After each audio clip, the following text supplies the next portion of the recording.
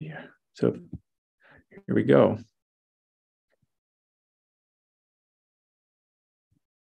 Okay, so welcome everyone to the Topos Institute Colloquium.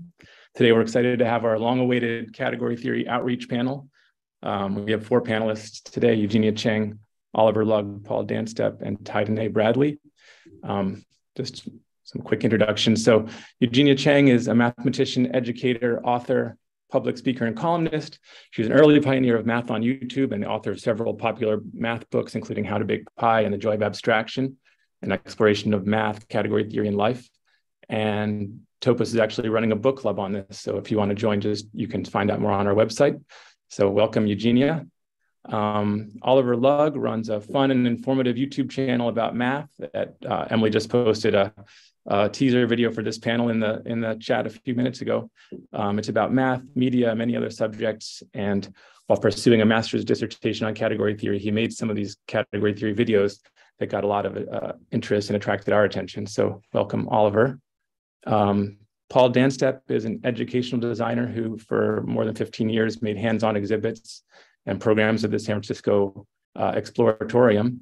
Um, he's a self-taught category theorist and uh, category theory enthusiast, and so he's familiar with the challenges faced by learners trying to engage this subject from outside the traditional academic setting. So very happy to have you, Paul.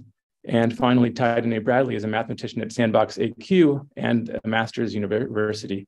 She's the creator of the mathematics blog Mathema or Math3MA, uh, co-author of Topology, a categorical approach, and a former co-host of the PBS YouTube channel Infinite Series. So welcome, Tai-Danae. And so those are our four panelists, and the panel itself will be moderated by Emily Riehl. Um, Emily is a, a professor of mathematics at Johns Hopkins University, working on higher category theory, abstract homotopy theory, and homotopy type theory. And she's published three books, including Category Theory in Context, which is a great book. Uh, she's also active in promoting access to the world of math through popular writing and in interviews and podcasts. So I'm very much looking forward to the discussion. And uh, please, Emily, the floor is yours.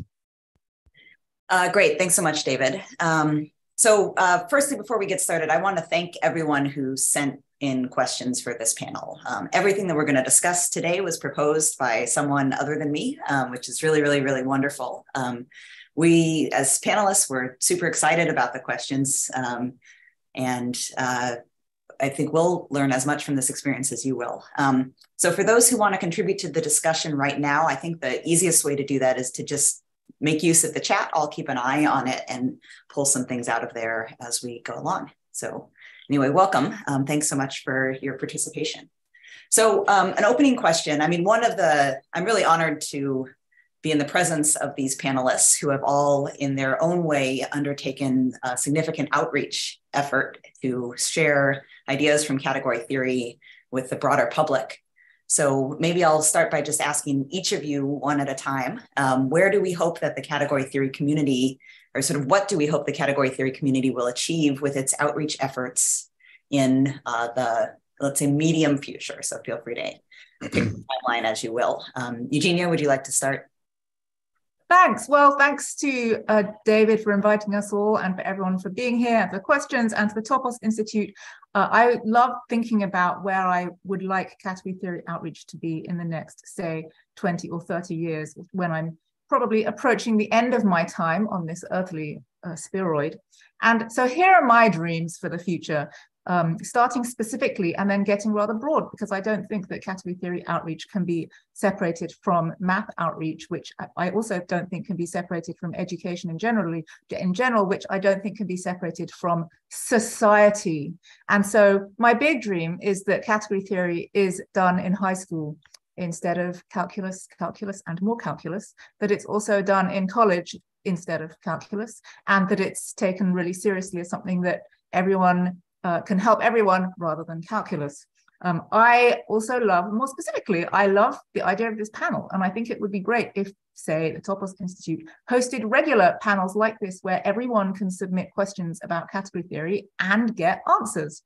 Um, I, in order to help outreach happen better, I would like to see more incentives and fewer disincentives to produce exposition and textbooks and videos and helpful things. Because many of us, at least at first, just did this out of the goodness of our heart with, with no possible benefit to ourselves or to our careers. And I personally was actually criticized for doing it. I was told off by my university. I was told I shouldn't do it. I was told uh, people hated me for doing it, which is why I quit my job. So it sucks to be them. Um, and so I think there should be more into uh, more encouragement and incentives for doing that. And I think there should be more actual outreach and communication jobs, um, including at least one in every single math department. And I think that exp exposition should be embedded into grad school. So, for example, everybody, when they begin their PhD, should write an exposition of their field. And I think it should also be embedded into all education and that there should be more outreach and communication classes in universities.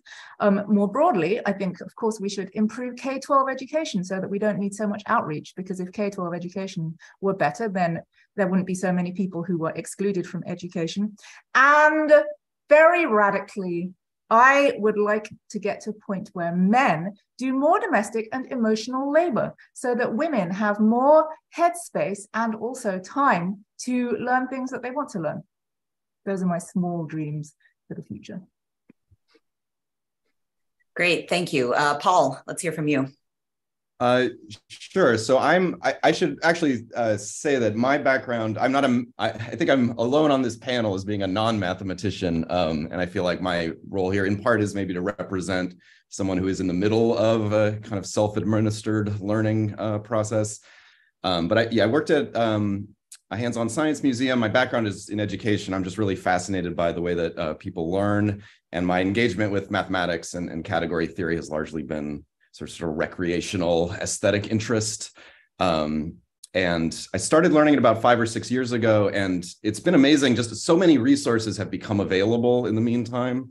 So my my sort of hope for the future is just that that that trend continues, um, and that we continue to see more sort of more more material and more kinds of material with different models of who the learner is and uh, different strategies for trying to communicate the subject to them.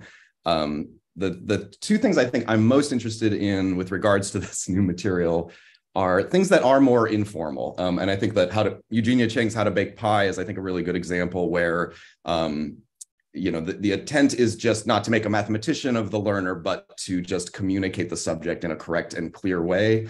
Um, I think category theory has a disadvantage in that it is kind of uniquely hard to preview in terms of like what is actually interesting about this um, is kind of hard to put across, and it's hard for people to get curious about something that they doesn't they don't know exists, right? So more material that communicates it a little more vividly um, is something I'm always on the lookout for.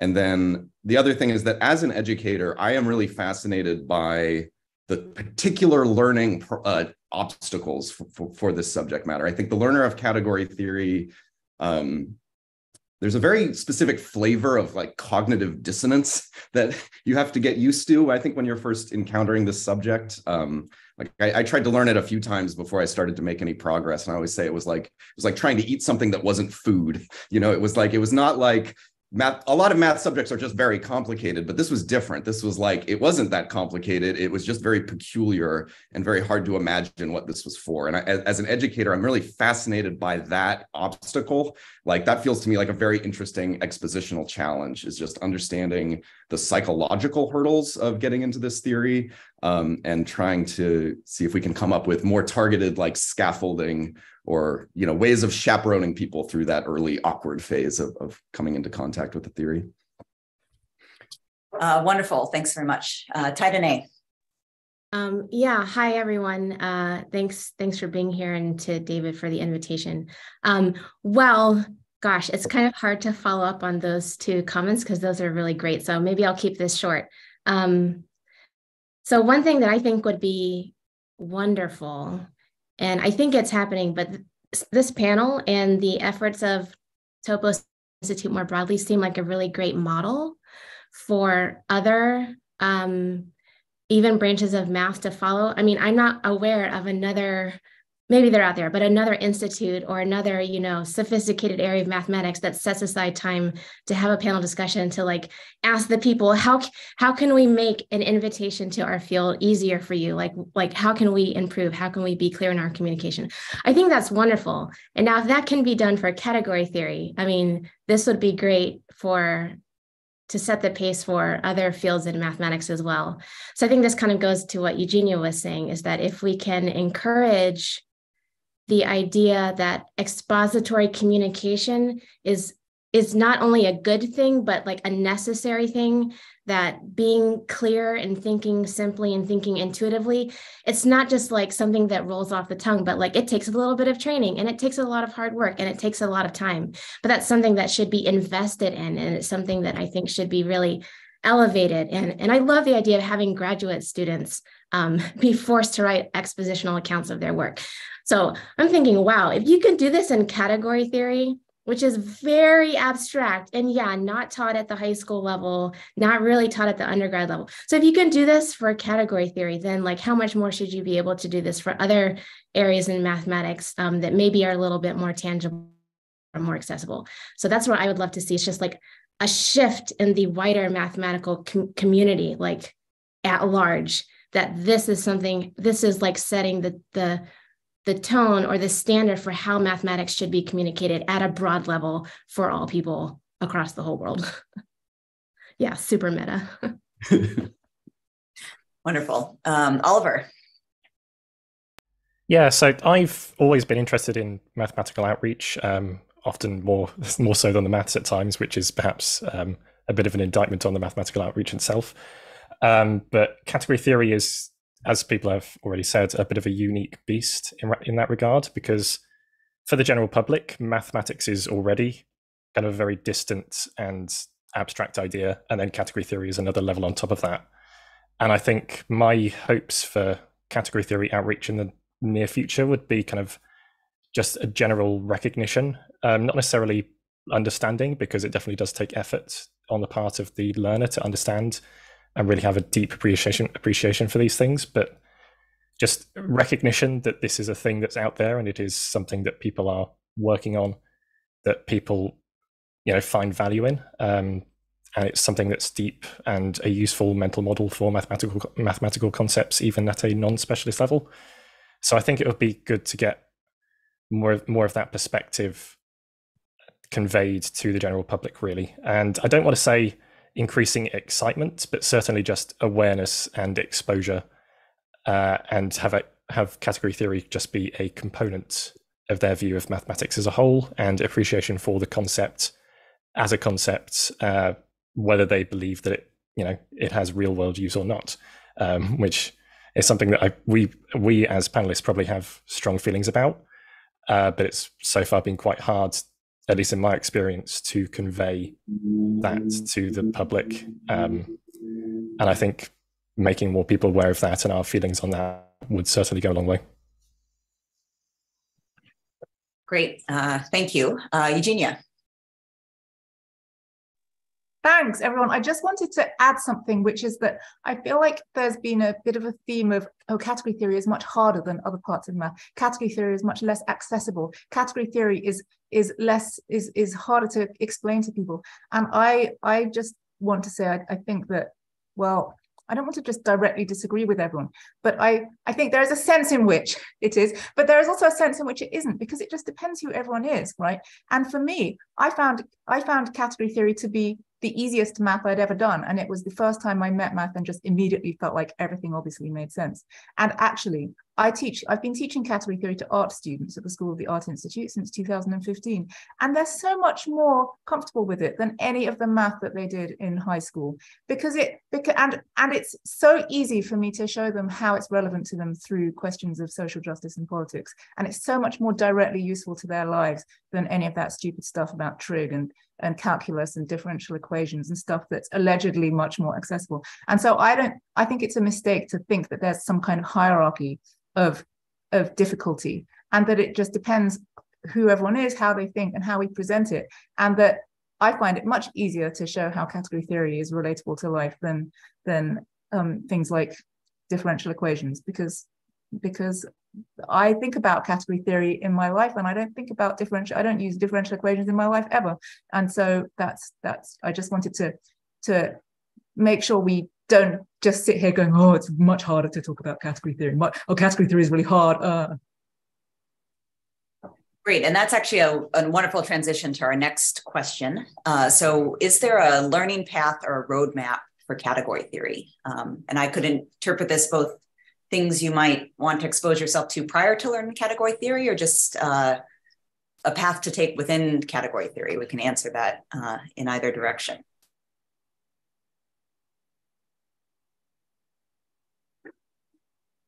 Yeah, sorry, Paul. Hi. Um, yeah, so maybe uh, maybe a maybe a refinement of saying category theory is hard is to say that maybe it, it, it supports a slightly different learning trajectory than maybe more conventional fields in mathematics. I had I went back and looked this up um, when I was reading this question. There was a in Richard Bird in the beginning of a book called the algebra of programming has a statement about he says one one doesn't so much learn category theory as absorb it over a period of time that is kind of something you maybe get used to and for me at least that that feels like an accurate description of like my roadmap which was that i initially felt like i had something which felt at the time like a breakthrough. And in retrospect, I'm like, okay, that got the ball rolling. And for me, what I ended up doing was just like I am kind of a slow learner, but I am very tenacious. So I just kept getting different category theory books and kind of triangulating across a lot of different voices, a lot of different resources, and just having the same thing explained to me multiple different times. Um, and that sort of cross referencing over time was, at least for me, really helpful in sort of annealing my brain to like think in this other style. But for people who've had more experience actually teaching category theory, I'm wondering if that's if you've observed that as being general. Like, is this is this an absorptive process, or is there uh, other other kind of learning pathways you've observed? Uh, Eugenia. Thanks. I think it's just always important for us to remember that everyone is different and there is not possibly one roadmap for learning anything. And I don't think category theory is different from any other subject like that. And that mainstream education imposes a roadmap. And usually the roadmap is stupid. And it's like the idea in, in mainstream math education that you have to do a whole semester of algebra, which means what? Manipulating equations in one variable or something and that you can't do that. You can't do you can't progress to to trig until you can do mental arithmetic. I mean this is stupid. You can do category theory without knowing any mental arithmetic and without knowing any trig and without knowing any calculus. And so everyone is different. And so for example some people learn through examples and so they look at a lot of examples and that's how they learn the theory. Other people learn from theory and they they they go the other way. And this i've seen this happen at every level. I i remember helping a five year old who couldn't do arithmetic because they kept trying to explain it to her using objects. And once it wasn't using objects, she could do it when it was just numbers. And then she could use the numbers to understand the objects. And I thought, ah, oh, she's thinking like an abstract mathematician. And so it's just important to not try and impose any kind of order of doing things on anyone. Some people learn category theory as a piece of algebra and immediately get it. And some people absorb it. Some people learn it through computer science. Some people learn it because they think it's going to help them solve a problem. Some people learn it because all their friends are doing it. Some people, I mean, there are just so many different directions. And so there's a there's a diagram I drew at the beginning of my book, The Joy of Abstraction, showing an interconnected network, and that that the traditional model of math education is a series of hurdles that somebody has declared that we have to jump over this hurdle before we're going to be strong enough to jump over the next, next one. And I strongly object to that. Everything is connected to everything else. And there's practically nothing that you, okay, maybe there's something you have to learn before you can learn something else. But but I'm just going to go ahead and say there's practically nothing that you really have to learn before learning something else. You can learn everything in any order that you want. And um, I okay, I'm going off on a rant now. Someone else, someone else say something. I mean, maybe this is a good point to broaden the question a bit, and uh, you know, what sort of resources are available currently for self-learning category theory? Um,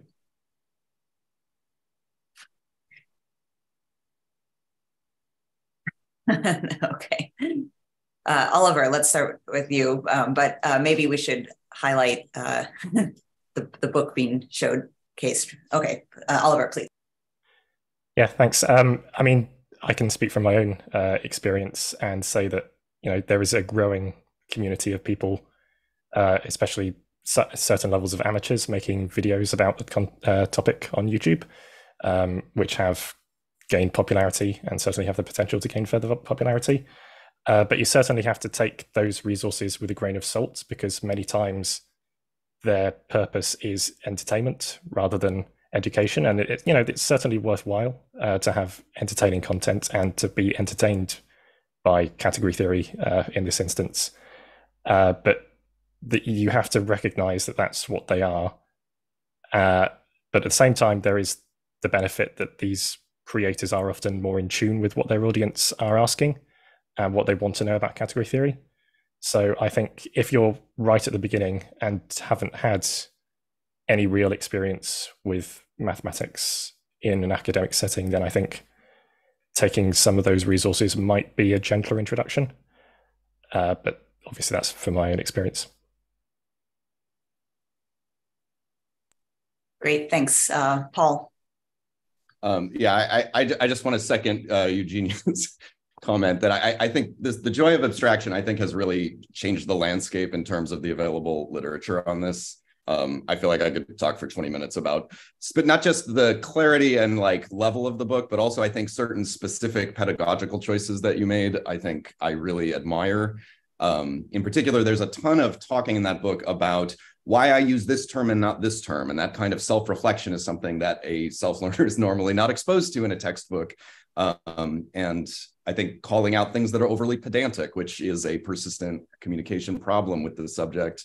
Um, and maybe, yeah, maybe one last thing to admire, I think, is just in the introduction, you you talk about the difference between productive and uh, receptive mathematics. I think you say, which is to say, like a lot of myself included, but a lot of people I know are really interested in mathematics, not because they're trying to be participants in the creation of mathematics, but just as appreciators of this kind of thinking and just a beautifully constructed thought. And I think both like giving a name to that was been very helpful for me. And I think the book is very much obviously written um, with the idea of a receptive audience in mind. So I think to me, like I, you know, I, I read Awodey. That was how I got started. So I had a, for me, that was a very steep climb. And I think the best thing I can say about this book is that this book would have saved me a ton of time.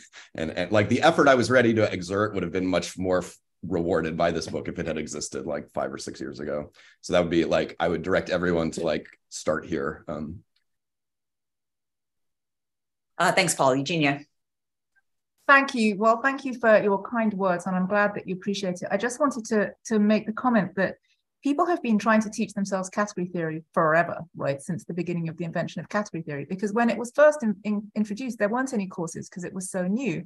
And then, even when there were courses in it, most people didn't have access to them. And so, even when I started, which uh, despite my great advanced age, was only about 25 years ago, I met so many people who had learned category theory just by buying categories for the working mathematician and trying to read it. And my mind absolutely boggled how anyone did that. And so I thought, well, I really wanted to write a book that would be more uh, helpful. And then some people wrote some fantastic books, including Awodey and Emily's book and Tom Leinster's book. And that kind of took things a bit earlier on, but it still required people to be familiar with mathematical writing and math textbooks. And it sort of didn't those books don't assume mathematical background but they assumed familiarity with the genre of math. And um it but no at the time i don't think any of us were really imagining that people outside math were trying to learn category theory. And then when simon willerton and i started making Catsters videos in 2007 we weren't aiming at anyone in particular. We were just aiming at people trying to learn category theory, which we thought was mathematicians and physicists. And then all these Haskell programmers popped out of the woodwork and go, went, "Oh, someone's explaining monads," and we were we are going, "What? What's Haskell? Why are programmers trying to learn category theory?" And so the whole time, there's just it's just a wonderful. I think it's wonderful that as there are more resources, more people get into category theory, and then yet more people want to get into category theory. And so I wrote this book specifically to help people who don't have familiarity with the, the way math is done, which is why the whole first eight chapters is just about it just a gentle lead into how we even do math and how we write about it and how to read it. And I really didn't want to put the definition of a category. I think it's on page 120 or something because there's just a big build-up. And I hope so that I also just want to point out that the Topos Institute is running a book club on it where everyone can ask questions every week. And on each chapter. So we're going chapter by chapter each week. And I'm absolutely loving this as a format. And then I just make a video and answer everyone's questions. The questions are fantastic. I can take, take as much time to answer the questions as I want because it's just a video and it's going to be on YouTube. And uh, I recommend, I would urge um, future people who write books and who really want to help people make it through their books to try and do something like that, possibly with the Topos Institute. So thank you, Topos Institute, and thank you to everyone who submits questions. And I'm I'm so heartwarmed that there are so many people who want to want to ask questions and who want to learn category theory. So it's all uh, it's all it's all great.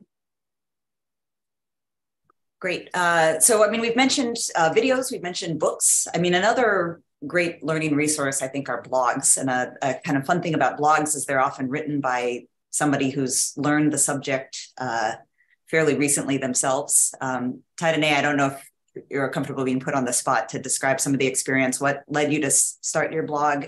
Sort of how, how close to the material were you when you were writing it? Yeah, sure. Thanks, um, Emily, for bringing that up. Right. So I have um, this blog, Mathema, which I started in grad school. So I don't know how helpful it has been or could be to self learners um, because I was in a pure math program, you know, studying category theory, you know, with other graduate students and with with a you know professors faculty there um, but one of the things one of my main reasons for really starting mathema and uh, focusing so much on category theory is that I found it really hard and it was challenging. And I remember the first time I ever heard the definition of a category and a functor, I thought this is the worst. Like, this is why people don't like math. That's really what I thought. I was like, see, this is why nobody likes math because it was so confusing and it just kind of felt yucky and repulsive. So it wasn't until a year after that first encounter when I saw the kind of 30,000 foot viewpoint that that language gives you and it's kind of empowering then then like the sparks went off and i was like oh my gosh this is amazing. I have to tell people about this. So one of the things that i that motivated me to, to start mathema but also to focus so much on category theory is that i felt very strongly that there were fantastic ideas that were hidden behind this very like thick brick wall of formality and jargon and like just words that obfuscate the beautiful ideas beneath. So one thing, so I, I, sort of had to do two things. Number one, I had to like break down that wall myself so that I could see the ideas. And then number two, I wanted to like reduce the cognitive load for other people. So I wanted to try to rewrite about those ideas, but like in a way that I wish it had first been explained to me. But I, you know, I wasn't writing for self I was kind of imagining, oh, there's like lots of other people that are also, you know, in either undergrad or graduate school learning this. Um, I was thinking, like putting myself in their shoes. If I wanted to help other students, this is how maybe I would explain what a category is or what a functor is. Um, and so my, so the Mathema articles maybe kind of sit in between like non-math majors or folks that come from other disciplines to you know like professional mathematicians. So it's somewhere in between. Um, so you know if i were to try to make it even more accessible maybe i'll have to start like another blog in another life or something. But yeah those are yeah thanks for bringing that up emily. Sure. I mean, what's so wonderful about blogs is it's it's something sort of anybody uh, can do, and in that, uh, you know, I, I, think often people write the exposition they wish they had had when they were trying to learn. So if you're somebody who uh, you know, has a, a slightly different background and Tai-Danae's blog doesn't really speak to you, but you get to the point where category theory is starting to sing, you know, maybe that's the opportunity to start your own blog to help those folks who are in your orbit. Um, let me bring a new question in and then Paula, you can let me know if you want to still jump in. So, um, you know, so Eugenia mentioned that if you're uh, reading along in the Joy of Abstraction book club and you have any questions, you should just send them to her, which is wonderful. But let's say you're you're reading a different book or you don't have direct access to the author, um, where can you get uh, your questions answered? And maybe these are technical questions. You read the definition of a monad and you don't understand it, or maybe these are questions about like why should you care about such? So somebody wrote to us to ask why I care about slice categories. They come up early and often in many textbooks, but uh, you know why what is this abstraction for? Why are people so excited about them? So how, how do you get your questions answered if you're not in a book club? Obviously, if you're in the book club, you should ask the question. So I, I don't mean to uh, discount that method at all. Uh, Eugenia, please. I think that's a really good question. And that one of the things that's really important when learning anything is learning how to learn and that that we all become self-learners in the end, right? Because we all exit, probably exit educational institutions if we were ever in them. And then hopefully we carry on learning for the rest of our lives because hopefully we have figured out how to learn things. And that you know what? The internet's great. That the if you can figure out how to ask the internet things then then you're on the way to really great things because there's tons of stuff on the internet and because wonderful people have written loads of blogs. And when i don't understand something which is often all the time. I just ask the internet, and it's great because then you don't have to sort of feel embarrassed by asking someone a question that everyone's going to think that you're really stupid for asking. And then someone may have written a blog, and it may be from 15 years ago, but it's still really helpful. And the the the of course, you have to be able to tell what's good information and what isn't good information, which is a very important skill in life anyway. And the thing is that there's there's loads of math and category theory out there that's that's really quite good. Plus, people are very there are some friendly people on social media who, for example, um, us, some of us are on social media and answer questions. And if we can't answer the question, then we'll we may direct someone to where they can. And it would be great. That's why I think it would be great if maybe somewhere like the Topos Institute by Topos Institute people, I'm making a direct suggestion that we have there are regular ones of these where everyone can submit questions and then maybe a panel can be convened that can that covers the questions because I know we've got a bit of a hole in our panel today because there are some questions that came in about computer science and none of us uh, none of us professes to feeling very um, well equipped to answer those. But I think that would be a great model where regularly everyone can submit any questions and then a panel is convened that can answer them. And that I think that would be a great addition to the landscape. Paul. Um, I, I, had a, another maybe more radical suggestion that I, I, I had an experience this last year where um, it wasn't category theory, but I, I, realized for some work I was doing, I needed to understand a mathematical subject much better than I did. Um, and I kind of needed to understand it in a hurry. So I actually ended up hiring a tutor, um, a sort of a math PhD who specializes in um, adult learning of college level math. And um, I had never like it just wasn't my model for tutoring. Was like a remediative thing you would do if you were struggling with a class but I was like actually doing a personalized course with a professional introduced two things into self-study that were really valuable. One was just some kind of accountability. Actually just did a lot for my ability like my ability to focus because I don't want to look foolish when I'm talking to somebody.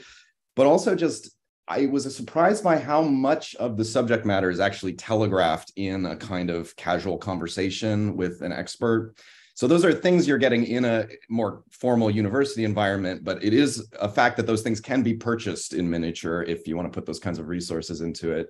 Um, and uh, yeah, that's anyway, just to say that that, that is an option that's out there. Um, if you really want to get, you know, like if I were going to learn piano, I would hire a piano teacher and you can actually approach this stuff in the same way. So. Yeah, and one-on-one, I'm sure that's really wonderful. Um, uh, Tai-Danae. Yeah, another thing um, speaking of online resources, so I, I haven't um, logged into this for a while, but I think there's a category theory Zulip channel. And I don't know if there's a thread on there for, you know, if you've read category theory in context and you have questions about other people that have read the book, maybe there is, or if there's not, someone could start that. But so there are online forums. I heard I don't know. I'm not on Reddit, but I think there's like a category theory Reddit group, maybe. So, so there are maybe online forums that exist already where people can like right now submit questions and see if there are um, folks who have those answers. I don't have the links, but maybe if someone does, they could share it, or maybe we could do that later. Oh yeah, thanks, David. Great, Eugenia.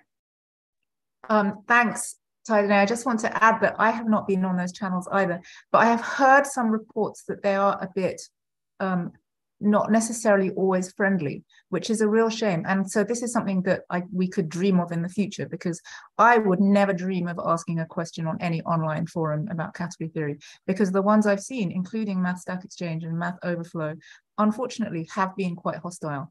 And when I tried to ask some questions a long time ago, they were very hostile and I felt very insulted. And um, and this is despite the fact that I am in fact an expert in the field. It was a very male dominated environment and it was very what I would call ingressive, where there was a lot, and the whole system is set up with kudos points or something where you build up your kudos and and it's all designed for the com- competitive, it seemed very ego driven. And I didn't like it at all.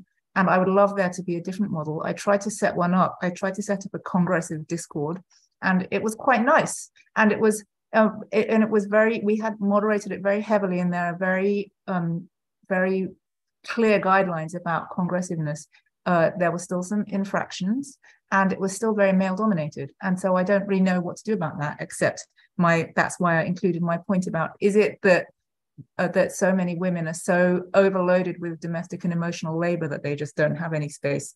I don't I don't know about that, but I I will say that if that if we could figure out how to make a congressive, friendly forum for people to ask questions, then that would be wonderful.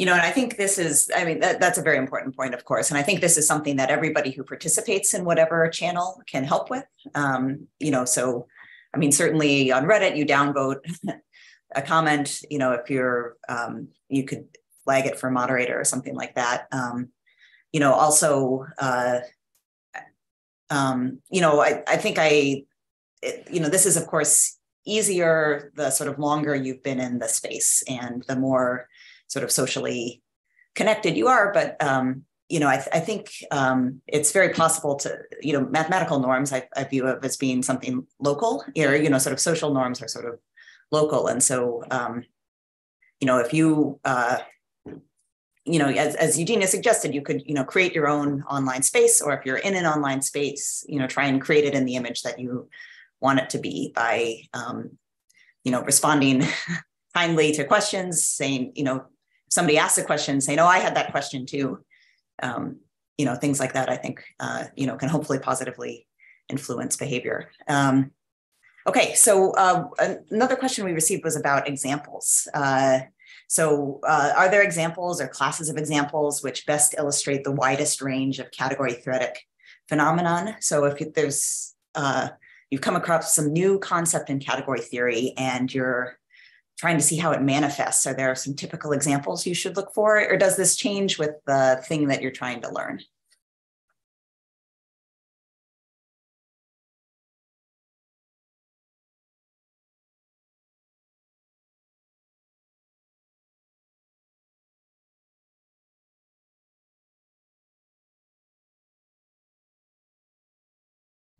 Sorry, go, please go ahead. Uh, think I'm I, I I'm sorry I'm saying the same thing over and over again, but it really depends. It's different for everyone, right? Because there are so many examples from different places, and it's a real mistake to think that there's some canonical set of examples that everyone should know. And I think this is something that held back category theory uh, education for a really long time. The idea that you have to know all of these examples from upper level undergraduate pure math before you can possibly learn category theory, because all of the examples from category theory come from those things.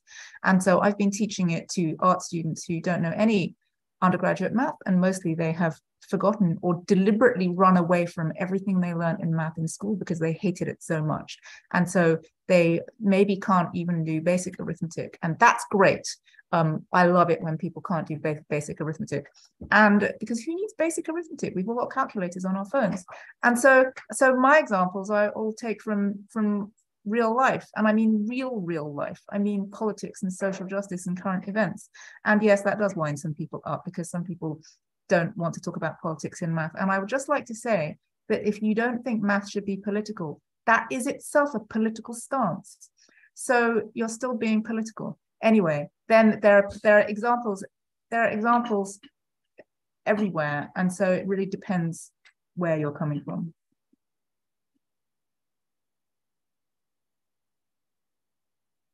So, a related question to the examples question is about exercises. So, um, if you're the type of self learner who wants to uh, do some exercises while you're learning uh, category theory, where are some good places to find some? Or maybe exercises with solutions or some sort of worked examples. Um, so you're not just sort of reading, but you're um, more engaged.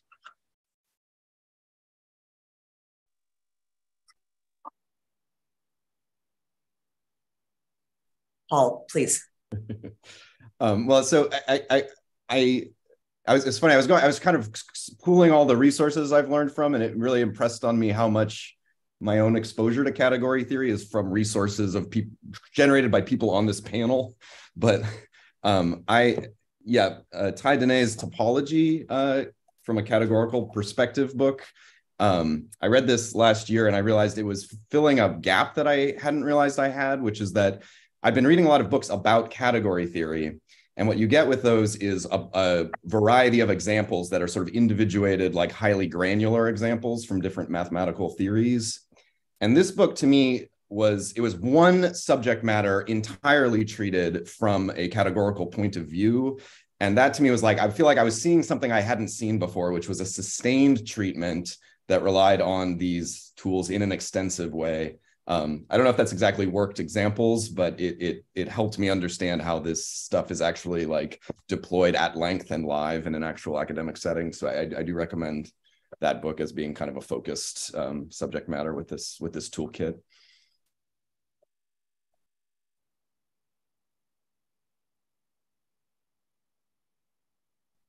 Uh, Eugenia, please. I'd just like to add that in the joy of abstraction, I do work through a lot of examples. And I specifically didn't put exercises in because I think it's really off putting to people who aren't like that to say, now you have to do these exercises, especially if that what follows is then dependent on you having done the exercise. Because if you're stuck, then what do you do? uh, if there's no book club to help you. And so I really wanted to make it clear that you don't have to sit and work through exercises. Because personally, as, an, as a student, I never found working through exercises in the slightest bit helpful to learning anything at all. Um, and so I specifically wanted to show that you don't have to do that. Look, I became a category theorist. I did not I did not learn by working through examples. I wound up a lot of tutors by refusing. Oliver. Yeah, I'd just like to echo that sentiment um, from Eugenia there. Um, so in my experience uh, where I did a lot of the exercises that I learned category theory um, was from Tom Leinster's Basic Category Theory, um, which is, is a very good book, but it, the examples still felt like quite a difficult jump to make. Um, some were quite easy, some were very hard, and it was in some sense quite difficult to determine which was which and which were necessary and which were, you know, just recreational stuff. Um, so yeah, I think it would definitely be good to yeah it's definitely good to have um, some more accessible examples somewhere and some exercises that really don't make you feel worse for not being able to do them uh, in a way because once you when you see just a, a massive list of exercises and you you can only complete one or two it definitely feels like i don't understand this and it can be very off-putting for moving forward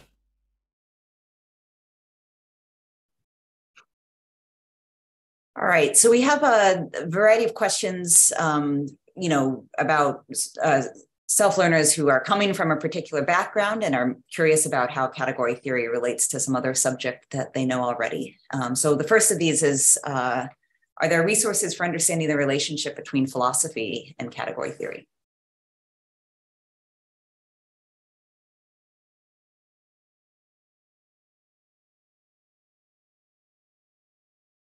Paul, please. Um, so I'm not sure if this is related to philosophy generally, but in terms of philosophy of mathematics and, and foundations, um, there's an article I really like by Barry Mazur called When is One Thing Equal to Some Other Thing? Um, and uh, I think it was written to commemorate Saunders Mac Lane's uh, passing. And it, it is um, sort of as the title suggests, he sort of the first few pages of this, he talks about um, this idea that when you do mathematics and you say this is equal to that, unless it's a tautology like A equals A, you are really saying that two things that are different are equal, and that there's this slippery philosophical thing you're doing where you're, you're saying that these are different representations for the same idea. Um, and he suggests that category theory kind of elegantly sidesteps those philosophical issues by centering on a notion of equivalence as opposed to strict equality. Um, and I really like this article. Like I read this almost at the beginning of trying to learn this stuff, and I was very intrigued by that as like the philosophical setup. Um, and then the math started, and I was just I couldn't proceed.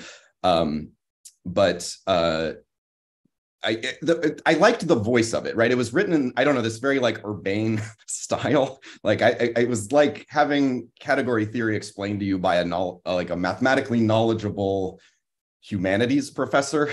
like he makes like a Proust reference when he's introducing set. And like in terms of reading lots of different things, I feel like this isn't a very distinctive voice that that that I that I liked. But eh, what happened was I'd go like you know study more formally somewhere else and then i would come back to this article every so often and each time i did i found i could get like a little further into it so for me it ended up being like kind of a benchmarking tool in a way i was like how how how far can i get now um, and it did feel like a big breakthrough for me when i was the day i was able to kind of read it uh, to the end and feel like i was more or less getting um, what he was talking about so it, it is both like I think it's it, the trajectory is I think very similar to the joy of abstraction, and then it, it starts from basically from scratch and then just makes a direct line for the Yoneda lemma. But along the way, there's a lot of commentary about what all of this means um, in regards to mathematical foundations, which I think is a really nice kind of contextualizing content to have along with that. So I, I really recommend that article.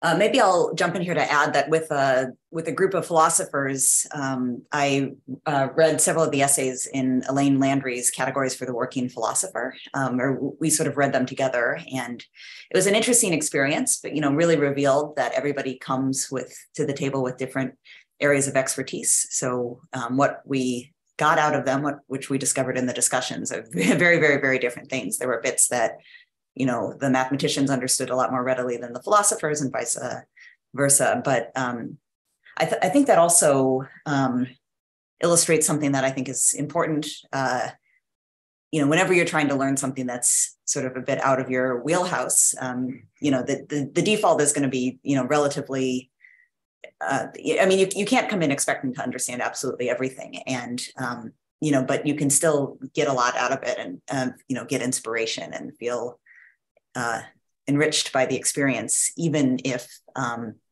you you also feel like you might want to come back to the article in a few years and see if you can understand it more deeply then. Um, Eugenia, please. I just want to to back up what you both just said because it's a, I think it's a really important point to know that we don't understand anything and that often that people who think that they're not good at math think that they don't understand things but people who are mathematicians also think they don't understand anything. The people who think they understand things are just deluded. They're the ones who actually don't understand math. They think they do. And so I just love what Paul said about uh, reading the intro to that paper and then being unable to proceed once the math started. Because honestly, that's how I feel when I read most math papers. It's like I can read the I can read the first two sentences and then the math starts. I'm like, oh, done. Like in most math talks as well. The, the, the idea is, oh, and then the actual things start. And and and it's all over. And so sometimes non-mathematicians say to me, "Oh, I, will never be able to understand your research." And I want to go. Most most category theorists can't understand my research. I, I don't understand my research. No, nobody understands. No, none of us understands anything.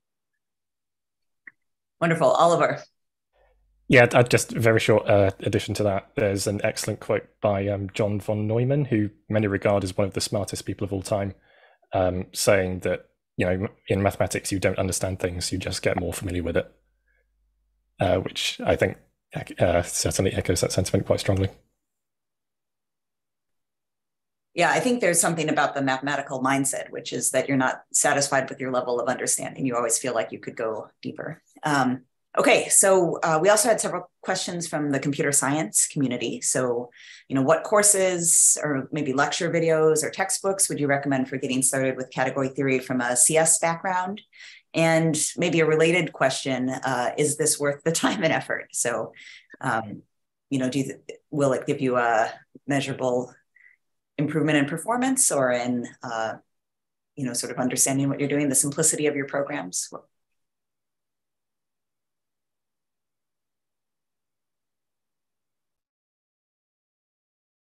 Uh, Oliver, please.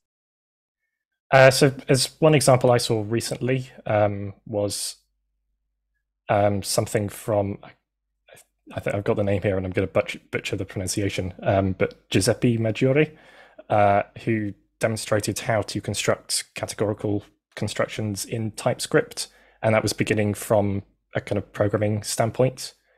Uh, so I can provide a link to that in the chat in a minute. But um, I think that in my experience, there have been many people I've seen who use kind of categorical or functional programming concepts in computer programming without really realizing that they are uh, the, the categorical basis that they have. Um, so it's it's actually relatively easy for those people to kind of sneak into the category theory world uh, from that perspective because they've been using these ideas so long and haven't really realized that oh this is actually what they're based on so that's quite a cool thing eugenia I think there's an interesting broader point here about why we why we do anything. Why do we learn anything? And if you're if you're a computer scientist or a programmer who's thinking of learning category theory in order to improve your the efficiency of your programs later, then that's a, such a different motivation to why I do things that um, that I don't know if I don't know if anyone successfully learns category theory in order to become more efficient at at, at their job. Um, I, I think that if you don't enjoy it as you go along, then you might not get very far. Uh, but that, but maybe that's just me. I'm completely incapable of learning how to do something if I don't enjoy it, which is why I'm completely incapable of playing sport. I mean, I probably could. I'm probably physically capable of playing sport, but I hate it so much that I'm completely emotionally incapable of engaging with it. And the same is true of other things like, I don't know, physics uh, sorry physicists but i just i'm sure i could do physics because i can do math but i just don't enjoy it at all and so i can't do it. And so i don't know maybe there are people out there who can do things they don't enjoy who can learn things they don't enjoy. I can only do things i don't enjoy if something really terrible will happen to me if i don't do it like my taxes. But apart from that i i can't. Uh, paul yeah, I feel like I should also just mention that all of us discussed this beforehand, and none of us felt really uh, well equipped to speak informedly about computer science and category theory. Um, but I, there, there are two things I wanted to say. One is that I, I had a good friend who was actually a, a, math PhD, but was also just very proficient at a functional programming language called Haskell. And Haskell, in a lot of ways, was like one of the first, I think, really applied category theory uh, instances that came up in the 70s. Was the realization that you could design a programming language with a type system that was very much like the category of sets and functions, and that you could look at this um, as a programming paradigm. And he was really interesting to talk with him about math because what he would do is whenever he had a question or something he was confused about, he would actually just open up a, a Haskell console and do some type checking or something. And I just have a very vague sense of what he was doing exactly, but he could kind of use this as an interactive instance of set that he could like query as an oracle. And that like underwrote a lot of his understanding and thinking about math. Um, and I certainly don't have that competency, but I would recommend anyone who's learning this, who's getting stuck on the math part, why don't you shift lanes and try and learn some Haskell? Because again, the more points of view you have on the subject, I think the, the better you're going to be at sort of converging on the, the, the core idea. And then there is one book I, I I feel like Vanna White. I just keep holding these things up. There is a Category Theory for Programmers by Bartosz Milewski. I think the the audience for this is, I think, just people who already know functional programming but haven't realized its connection to mathematics. And this book is absolutely charming just because he has all of these watercolor il- illustrations of like pigs and arrows and the thing. And it's a beautiful book. It's really structured up to a point and then kind of goes off in 100 directions at once. Uh, but uh, again, really, really good to have on the bookshelf with other things in terms of learning the subject.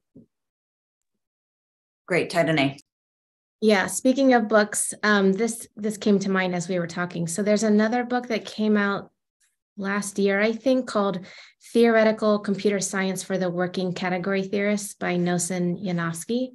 Um, I do not have a computer science background, so I don't know if that would be helpful for folks who are interested. And also, I guess it's written for category theorists. But if you have, you know, a little bit of background in both and want to get a a, a more comprehensive view, maybe that book might be helpful. I could put it in the chat. Great, thank you.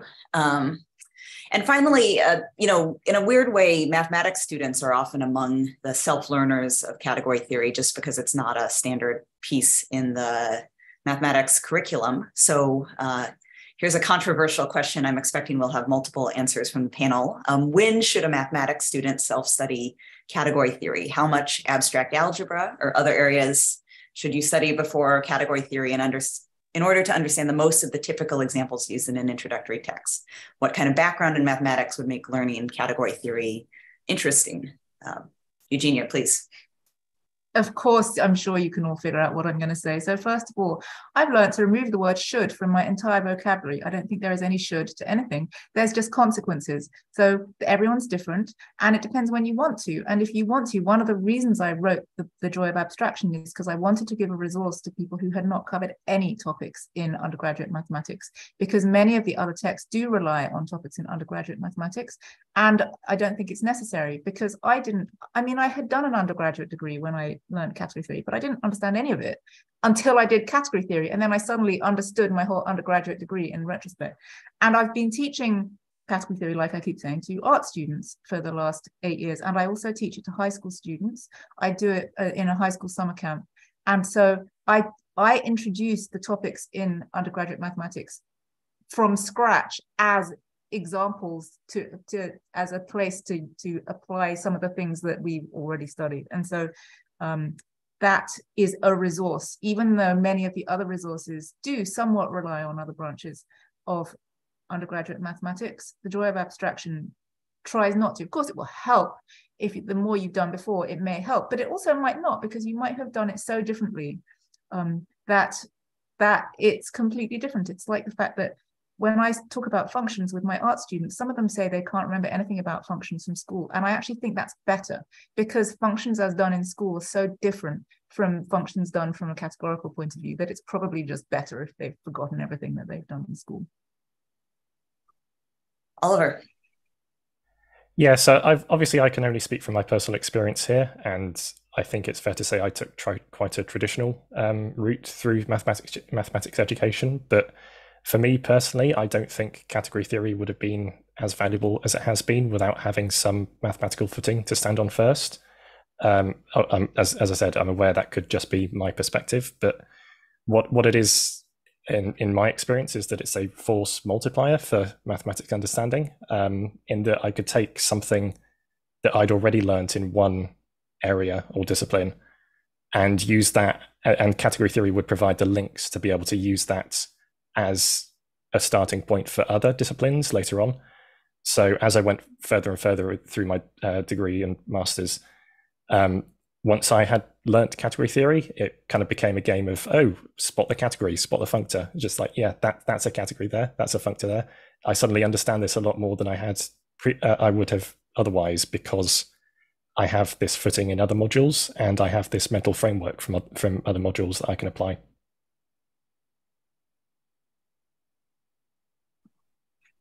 Great. I, I like the uh, comment that, um, you know, who are we to tell anybody when they should do anything at all? Um, but if I were designing a mathematics curriculum and had space to put category theory in somewhere, the, the place I would like to put it is as a sort of capstone undergraduate course or beginning graduate course. Um, for a capstone undergraduate course, I think it's a wonderful way to revisit all of the mathematics you've learned, kind of as Oliver and was alluding to, and um, it's a wonderful way to revisit and uh, you know kind of meet all your old friends again and uh, understand them better the second time around.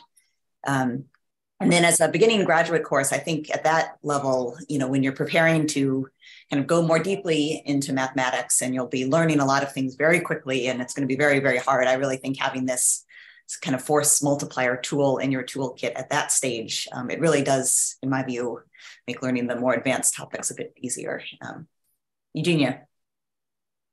I would add it as a capstone high school class. Um, and because I think that the ideas are so vivid and so uh, amenable to thinking about everything in life. And you don't have to do it rigorously, right? No, because nothing is done rigorously in high school. And so why why do we wait for category theory because we can't do it rigorously yet when we do all this stupid calculus and trig and stuff completely unrigorously? Why not demonstrate the ideas of category theory and just plant those seeds instead? In high school and then do it again a bit more rigorously as a capstone undergrad. Well, but I also think as a sort of first year general liberal arts, because I've been teaching it as liberal arts for eight years, for everyone who who is not going to be a math major, but make it available as an option. Again, not necessarily rigorously, and then do it rigorously. Uh, so it can be done at all sorts of different levels. And as Paul said about my receptive and productive thing, I think that that mathematicians have been making a huge mistake for ages, thinking that math should only be done rigorously and it's only worth doing it if you can do exercises and write proofs. Because there are so many other things where we don't say that. You know, we we we have music appreciation classes, and you can go to an art gallery and look at art even if you can't paint at all. And I think it's really important to to offer that as a way of interacting with math and in particular category theory as well. Wonderful. So uh, the theme of the next set of questions are sort of, uh, you know, broader motivation for studying category theory. So um, speaking generally, um, you know, what are some insights that the categorical approach has given you? Um, where do you think these ideas might be going? Um, what are some of the utilities, if we want to use that word, of category theory?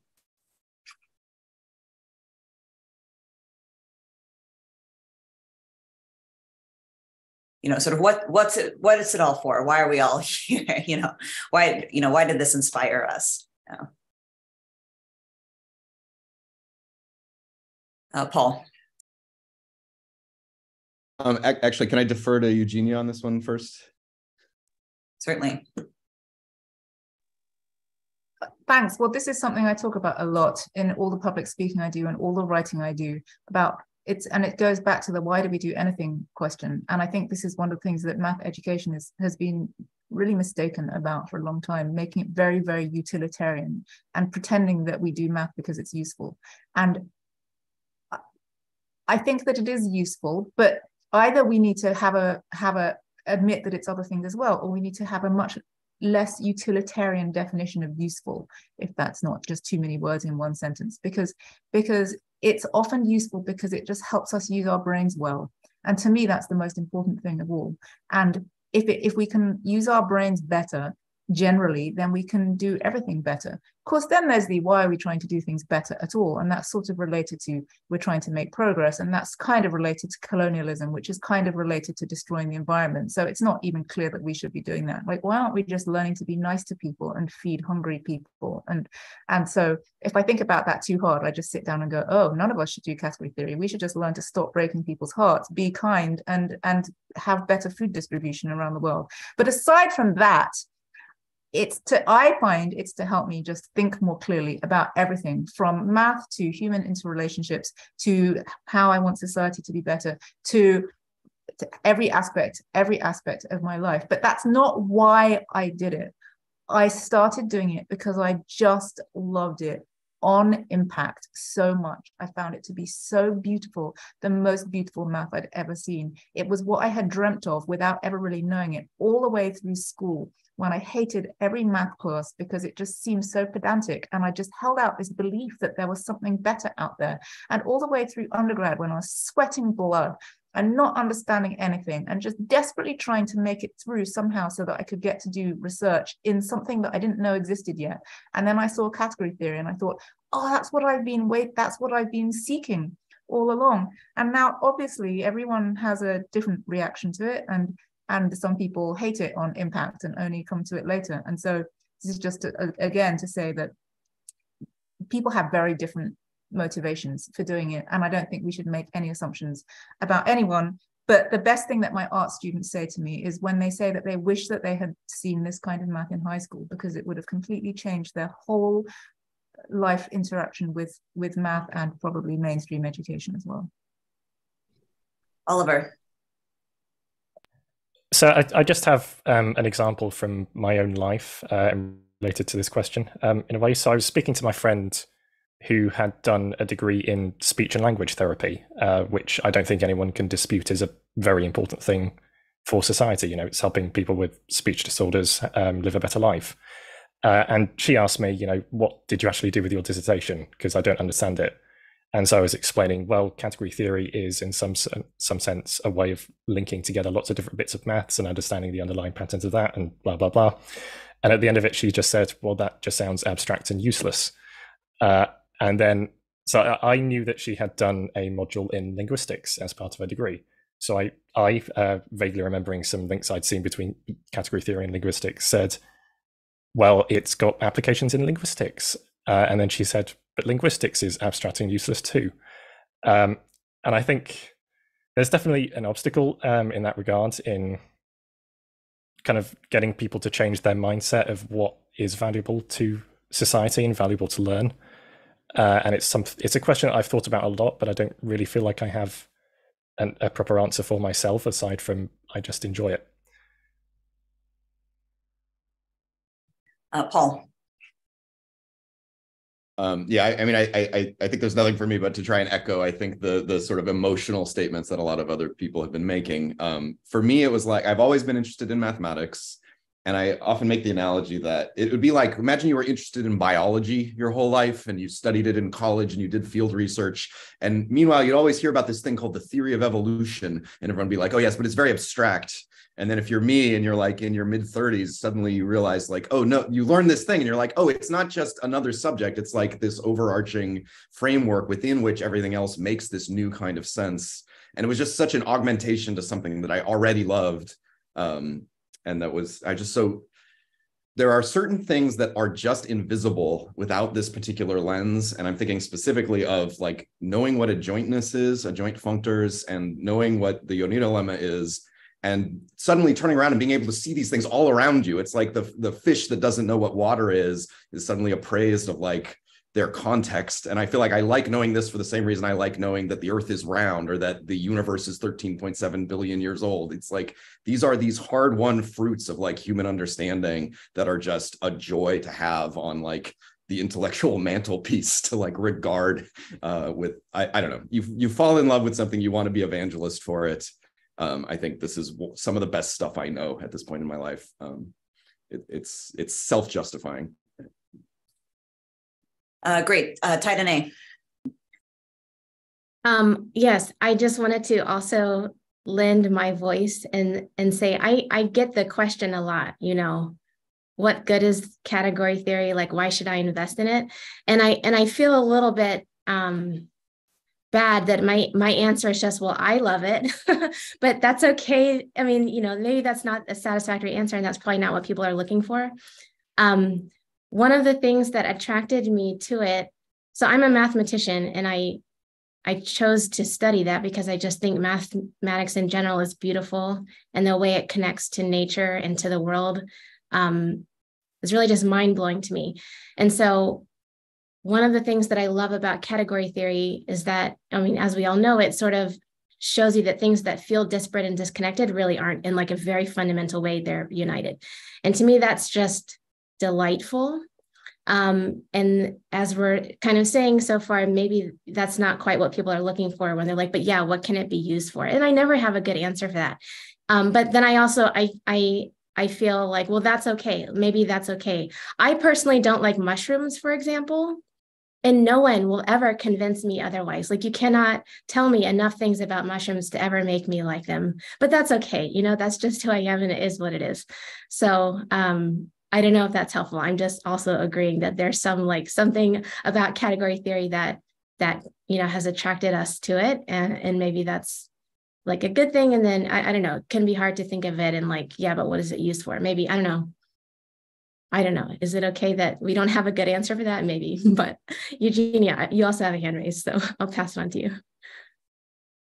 Thanks. I just wanted to, to say that I think one of the problems with math and math education and math outreach is too many people telling everyone else how important math is and how they really need to be able to do it and how it's really useful. And then showing them bits of math that are not useful to them in the slightest. And that's what most of math education is. And using the wrong notion of useful. And especially if you keep going on at someone about how important something is, if they're anything like me, they just kind of start hating you and start and just want to deliberately run in the opposite direction to prove. It's like people keep telling me that exercise will make me feel better. And so I just keep wanting to demonstrate to them how awful exercise makes me feel. And so I what I, I think that Tai thing about saying, well, this is why I like it is wonderful. And I always say, I'm not going to tell anyone they should like it. I'm just going to say that I'm sorry that you may have had a really bad experience with math in the past. And I'm going to show you a different kind of math that may be completely different from that and that may help you think about things in a completely different way. And if you still don't like math, that's fine. Like you say, some people don't like mushrooms and I don't like cinnamon, and we can all like different things. But if you don't like math because you've seen some really awful, stupid kind of math, then that's really sad because that's not even math.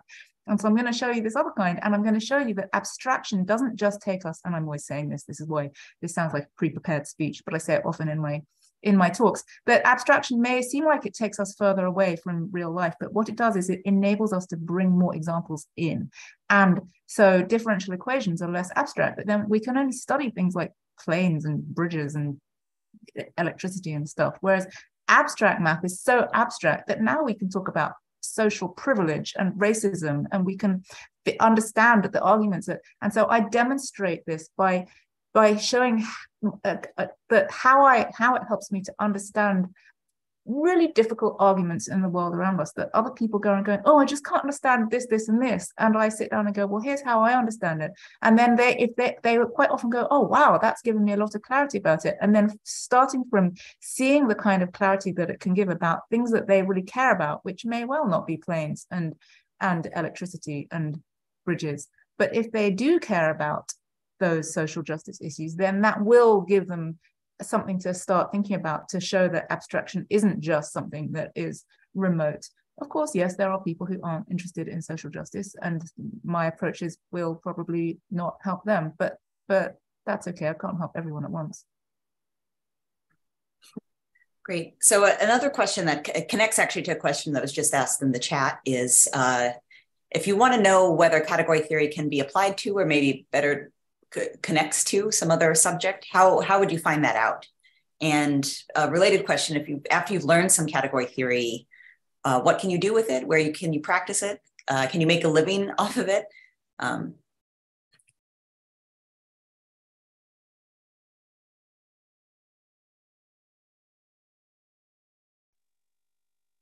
please go ahead. So the answer to is category theory related to something is yes, because everything is related to everything. And I suppose really the question is in what way is it related? And the internet is very helpful with those things. But apart from that, I really just do believe everything is related to everything else. And I I I make good on this by when in when I'm teaching, if whatever my art students are talking about, I never make them give them exercises or make them talk about anything because I feel like everyone's an adult. They can talk about anything they want. And so if I go around the room and they turn out to be talking about something else entirely, I just always relate it to whatever categorical concept that we we were talking about. And I I can because I do think everything is related. So I think the answer to that is yes. Uh, whether you can make a living from category theory, well, some of us here make a living from category theory in in various different ways. Whether you can learn category theory from scratch from outside mathematics and then make a living from it? Well, I would like to think that there are educational and outreach possibilities. And if in my utopian future we get more jobs for exposition and outreach, then then maybe yes. Aside from that, I don't know. I understand that there are people doing category theory as programmers in actual corporate environments. And I believe that those places pay them money so there is that possibility. Uh, so maybe a related question to that answer. Uh, what are some, I guess not from the monetary perspective necessarily, but you know, what are some open source projects that are accepting contributions for teaching category theory in an accessible manner? I mean, I, I guess, you know, mo most of the expository efforts, you know, whether it's Oliver uh, producing his beautiful videos or, you know, Tai-Danae writing her her blogs or you know many of the things that the others of us have done as well are kind of on a voluntary basis. So um, let's say you all, you want to join join the team. Uh, what are some suggestions?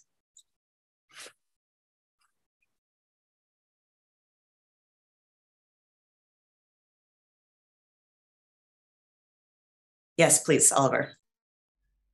Yeah, so I mean, again, um, I'm speaking only about videos here, um, but these days it, it is a, a, surprisingly low barrier to entry to make videos about this topic, um, and it's it, you know it's not quite open source in the official sense, but it is something that anyone can work on and anyone can produce content. And the fact there is a low bar- barrier to entry can mean that it, it's difficult to discern what is actually the valuable stuff that people are saying and what's just the churn that people are producing. Um, so there's there's definitely got to be some awareness of that and some awareness of what yeah uh, what the distinction is. Um, but I think it for me personally, it's been a very fulfilling thing to be able to create these resources and see people engaging with them and see people learning new things out of them that they they'd never even heard of. They didn't even set out to learn category theory. They were just they just stumbled upon it, uh, and I think that is something that a lot of other people can get into uh, these days. As I said, it's just it, it's getting easier and easier to to do that. Uh, Tai-Danae. So that makes me think of something. Um, here's a thing that doesn't exist, but maybe someone can make bring this thing into existence. So probably people have heard of Grant Sanderson's Three Blue, One Brown math channel. And for the past two summers, he's had what's called a Summer of Math Exposition, which essentially encourages people from everywhere to create their own explainer videos. And then the idea is not really to like get a prize or something, it's to actually increase the way that math is communicated about different topics and have just people engage in that and have fun. And so um, there there are there's a lot of activity on youtube from different people submitting different 10 15 30 minute explainer videos but about a bunch of different topics. So now i'm thinking uh, somebody should create like a summer of math exposition at topos institute for category theory videos maybe or you know well I, I think that's a great idea. That's a way to like crowdsource and to get people involved. Um i don't know something food for thought maybe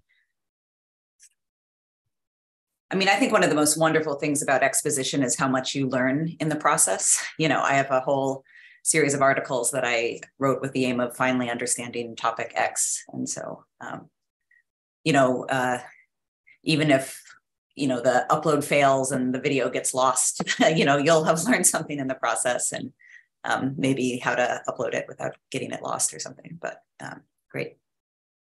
Okay, so to wrap things up, um, we also received some category theory questions, and we thought it would be fun to uh, answer a few category theory questions. Um, uh, and actually, maybe in the interest of time, I'm just going to pick one. And uh, so, so the question is going to be uh, why is Yoneda's lemma so important and ubiquitous? And maybe before we start, I, I want to say that the thing that I tell my students about Yoneda's lemma is uh, that it's absolutely impossible to understand anything about it when you first see it.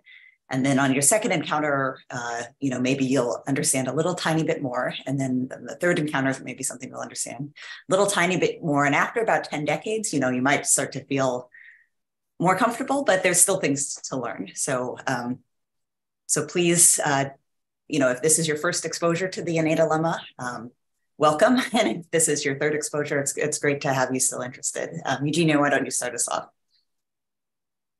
I say that the what the Yoneda lemma is telling us, you know that saying that uh, if if it walks like a duck and talks like a duck, right? So what the Yoneda lemma is saying is there's something missing from that saying because it, it has to walk like a duck and talk like a duck, and other ducks have to think it's a duck.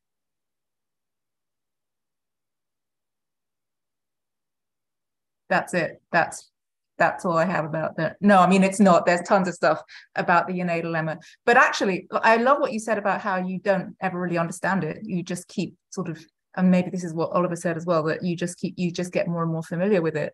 And there's this ridiculous game that that I feel like the Australian category theorists play, which is a kind of how fast can you declare that something is just the Yoneda lemma? and but you can't do it too fast otherwise no one will believe you. And so i don't know if there are any radio 4 listeners out there. I can see one maybe. Uh, i think this is like mornington crescent the the game where you have to get to mornington crescent by saying mornington crescent but not too soon. Um and so yes it can seem extremely it can seem extremely baffling. And uh but it's it's it's a, i think it's about how what is it do you really need to know? And that's what i think category theory is about. It's deep down it's about what what is really making something work? What do you really need to know in order to make something happen? What really what really is going on deep down? That's it.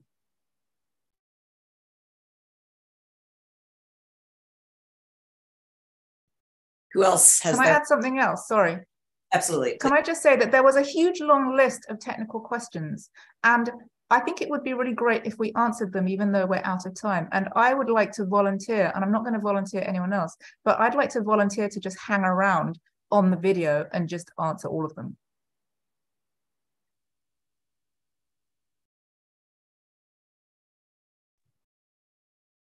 Okay, um, let's that's that's a great suggestion. Um, anybody else want to weigh in on the Yoneda lemma while we're still here? Please, Danae. I mean, I guess I'll just say something. I, I think the duck thing is great. So I don't like what can I say that can make that better? But um, one way that I think about it in really simple terms is that people care about things and you want to understand things and Yoneda, the Yoneda lemma like tells you how to do that. I mean, I guess the things are mathematical objects, blah, blah, blah. But why is it so important and why is it ubiquitous? Because you're interested in stuff and the Yoneda lemma is like, oh, oh, you're interested in stuff, huh? Well, let me tell you how to study them. So then it's not surprising why it comes up everywhere because you're studying things and it instructs you, it informs you, like, here's the special thing to know about this thing. It guides you, it kind of points you. So I think just in like totally non technical language, maybe that's how you can think about it.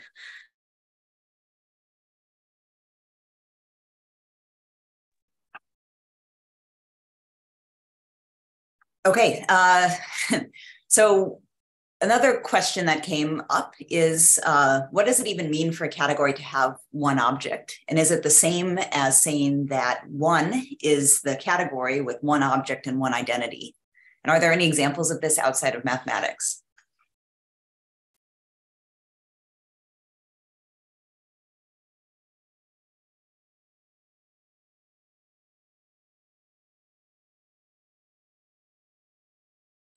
Uh, Eugenia, please. I remember when I first encountered the concept of a category with one object, and I felt like I was falling off a tall building. I had so much vertigo. I did not know what's going on.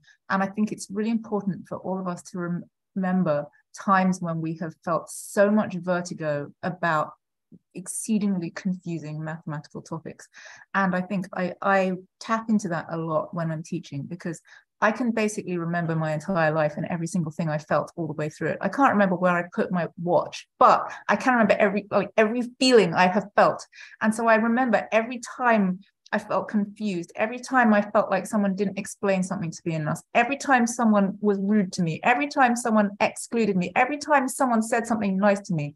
And I remember getting completely confused about categories with one object and what on earth the point was. And the thing is, a category has objects and it has morphisms or arrows between them. And so just at some very basic level, you can wonder how many objects there are. And if there's only one and that's it, then there's only one and that's a category with one object. And it's really confusing because you can because it turns into something else. It's like it, there's this miraculous you, major, you wave a magic wand and the one object goes away. And category theorists get so comfortable with this concept that that I think that they forget how confusing that is at first. But there are many of them in everyday life because every time you pick up one object, you've picked up one object, and there may be many morphisms from it to itself. So, for example, here is my here is my water glass. It is one object, but I could declare there to be a morphism from it to itself every time I turn it round that's a morphism from it to itself. And as it's round, it happens to be a symmetry. And that is now a category that has one object, but loads and loads and loads of morphisms between it. And it turns out that we can view that differently because once I've declared that that's the object I'm talking about, one of the miracles of category theory is that the rotations all by themselves kind of tell us what that object must have been. And then it and then we can go, oh, well, just the just those moves we did the ability to do those tells us that it had to be something circular because that's kind of the only thing that has an infinite number of symmetries like that. And then it doesn't really matter whether it was this water glass or some other perfectly symmetrical water glass. And then that's when category theorists sort of put on their category theory hazy glasses and go oh well then it doesn't sort of matter what that object is anymore. But i i'm not sure if that was exactly what the question was about but it's I it's an amazing it's an amazing topic, the category with one object, and I highly, highly recommend getting confused about it because every time you get confused about it, it's a possibility there's potential for more understanding. Paul. Um, yes, I, I just wanted to echo that vivid sense of confusion um, that comes up when I, I remember the, the example I always remember is like a group uh, in in the mathematical sense is a category with one object and all of the morphisms or isomorphisms. And to me like i could I, again you could see i can i can go through legalistically and see that the definition of a group and the definition of a category with these constraints on it match up one to one. But it's almost like if you're used to group theory, then the whole surface area that you're working with when you're doing proofs about groups is gone when you like compile it into this one object with, a, with like a keychain with a bunch of key rings on it. And I, to me, I was like, it's like I was reading a group theory book, and then a category theorist came up and was like, another way you can look at it is you can rip out all the pages and ball them up and just make a big pile. And I was like, you, you know, technically, yes, I agree that all the same information is there, but the formatting is now very mysterious. Um, and I, I think I'm just calling back to what we were saying, I think in earlier questions about just the disorientation of learning category theory is that if there's no way for you to understand yet that there is a general theory of balled up pages from books, but it does exist. And I think that part like that reassurance to the learner that um, this is actually going somewhere, even though it seems like an act of vandalism at the beginning, I think is I just a, a reassurance I wish I had had more of when I was first trying to like make sense of the, the subject. Eugenia. I just wanted to add that that's one of the reasons that it it's not necessarily a bad thing if you haven't studied group theory before you study category theory, because then you can just learn that a group is a category with one object and everything has an inverse. And then you don't have to get confused between that and the other definition of a group that you've already seen. That's a very good point. Um, okay, so another question. Uh, so I mostly understand that a natural transformation is an arrow between two functors. Uh, um, you know, such that some diagram has to commute. Uh, you know, that diagram is in the, the target category of the, the two functors. Um, but uh, what is an example of a natural transformation and like what type of problems does this help someone solve?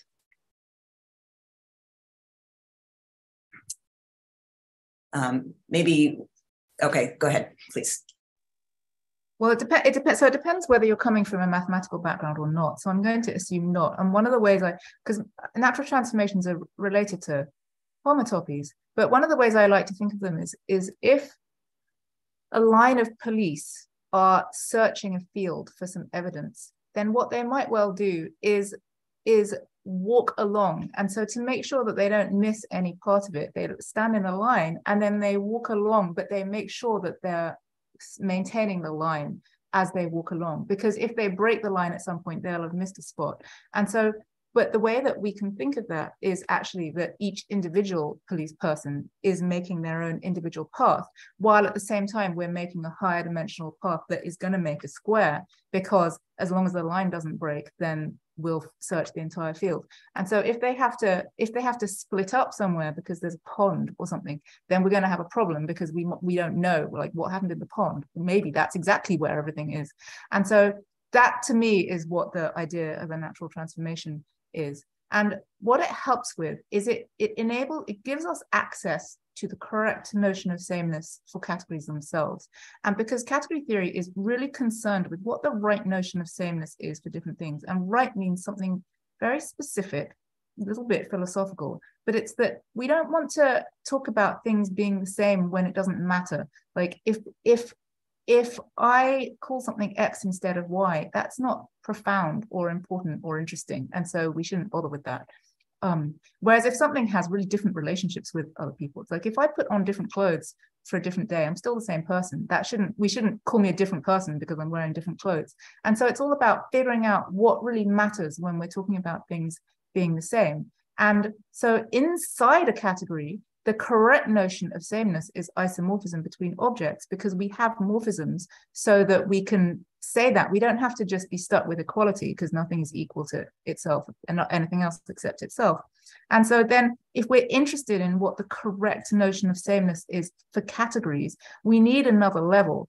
And that's what that's what natural transformations gives us. Now there's quite a big step between that idea and coming up with that definition. But but what I do in I think what I did in my book when I introduced it was introduce it in a bunch of different ways. So one way is by following your nose through those ideas. Another way is by analogy with homotopies, if you've seen homotopies. And um, but if you if you're wondering why what it's for, I think that's what it's for. It's to get the right level of things.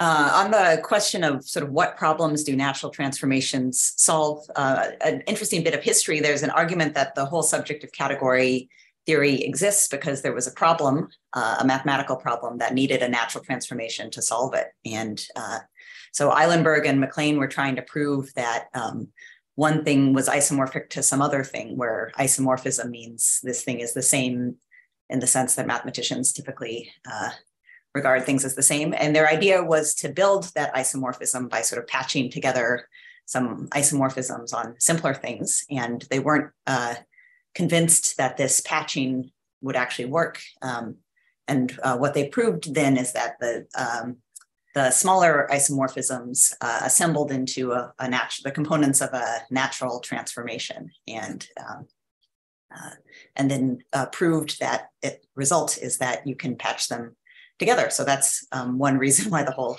subject exists. Um, please, Eugenia. Well, I just realized that um, we reached 90 minutes and I didn't want to put pressure on everyone by my ludicrous suggestion of sitting here and answering all the questions. And so I wonder if we ought to, I, I mean, I'm stepping on your toes now because you're the chair, but I just wondered if, if we should or could, or if it would be a good idea to sort of formally end and so that people can go if they want to. And then anyone who wants to hang around and answer or listen to questions can. Uh, in case it's helpful information, uh, there were two more questions I was planning to ask. So. Oh, okay.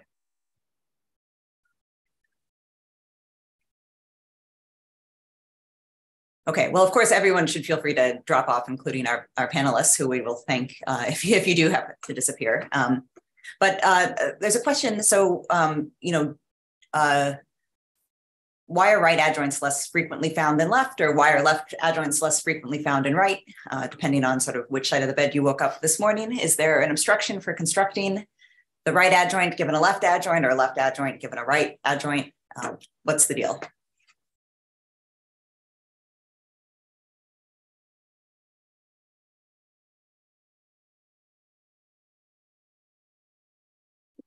Yes, Eugenia. Oh, so first, I just want to reassure. I mean, I do see quite a lot of category theorists in this in this um, Zoom, but I just also want to reassure everyone that we were definitely not expecting everyone to be here at the level of asking questions about the existence of adjoints.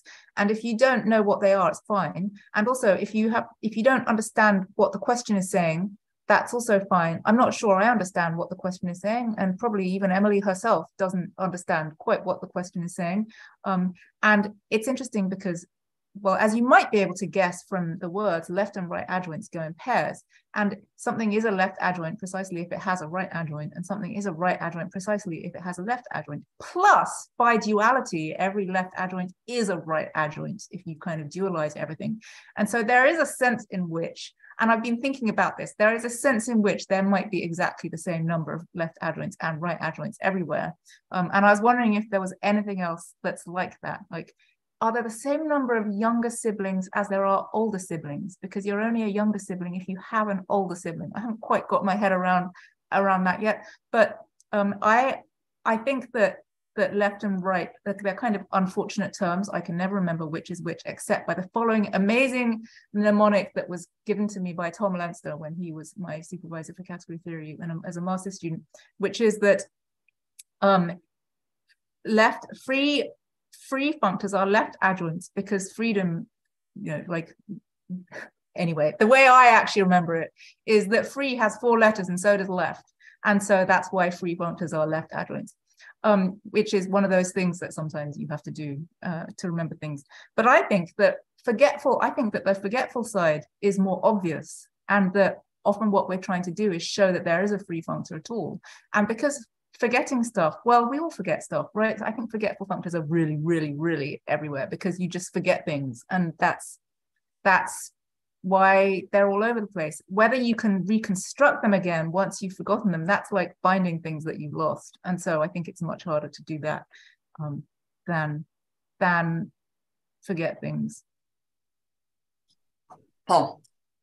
Um, I think I just want to say that it seems like quite a shame to be talking about these content questions with Emily Riehl in the room and not be able to direct any of them to her. So I, I, that's okay. I, but I, I, I, would say like, I, I, if you do have anything to add to these, I would be very curious to hear what you have to say, Emily.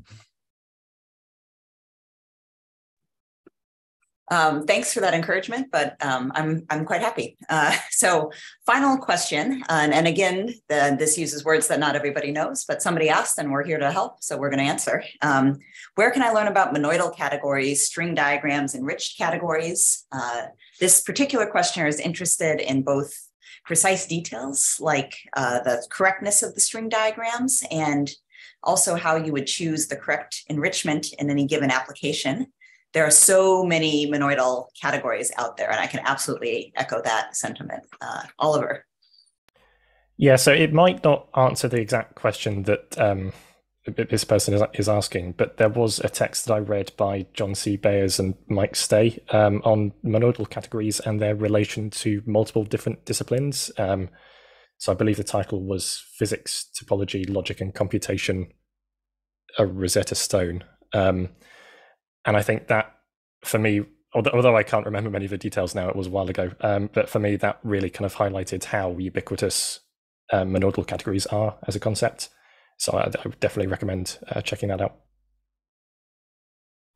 Tai-Danae. Um, yeah, another thing that comes to mind, um, I don't know if you've mentioned this yet, but um, David and Brendan wrote a really amazing book called An Invitation to Applied Category Theory, um, which, like one of the you know famous pictures from that book involves baking a lemon meringue pie. Um, uh, which is like a string diagram. So, and, and they even touch on enriched category theory. So that's really accessible. I think um, if you don't come from a math background as well, because it's sort of introducing basic ideas category theory with applications in mind, as the title suggests. Um, there's another, so speaking of monoidal categories, there's another book coming out. I mentioned um, Noson Yanofsky earlier. So I can put this in the chat as well. But there's a new book coming out called Monoidal Categories, which is described as being introductory for self learners and non math majors. And I think it's like everything you could ever want to know in theory about monoidal categories. I don't think it's out yet, but there's a like a free preview online. So folks might find that a helpful resource. So I can put that in the chat. Great. Uh, thanks, Eugenia. Uh, thanks, everyone. I'd just like to add that I think that I do believe that way back millions of years ago, when Simon Willerton and I were making Catsters videos, Simon did a series on string diagrams. And our videos are extremely low tech from before the era of any graphics or any editing. And the reason I stopped making videos is that it's gone way out of my uh, realm of ability now. So we just wrote on chalkboards, but people still tell me that they find them helpful. And so that that might be helpful. And also, I do feel like this is the kind of thing where Google is your friend and that there will be many resources and many resources will come up if you Google and there'll be loads of people who have helpfully written blogs, even if they they may have been grad students at the time and are not in category theory anymore, but their blogs are still up there and may be very helpful. And so there are quite often times when people ask me things and I just Google them immediately and then and then I go, oh wait, but you could Google that. And all I'm doing is Googling it and then using, but then maybe I have, have I have developed more, I, I acknowledge that I have developed more techniques for sifting through Google math results and that that can be a helpful thing. And that that that's also another skill that I suppose we could include in education more. But anyway, yes, I would encourage you to believe that Google is your friend for math and in particular category theory. Wonderful. Uh, so let me thank everyone again. I really appreciate all the time that went into the preparation of this panel. Firstly and foremostly for the people who submitted the questions that, you know, none of this would have happened without you. So we really appreciate all the thoughtful questions we received. And also thanks, of course, to our panelists, um, not only for being here with us today, but for all the great work that you've done in sharing category theory with the masses. Um, and thanks finally to the Topos Institute for hosting us and providing this resource and so many others. Thanks, everyone. This was great. so I guess we'll end here and um, thanks again. And um, we'll follow up uh, with questions afterwards and some of the great suggestions. So okay. bye, everyone.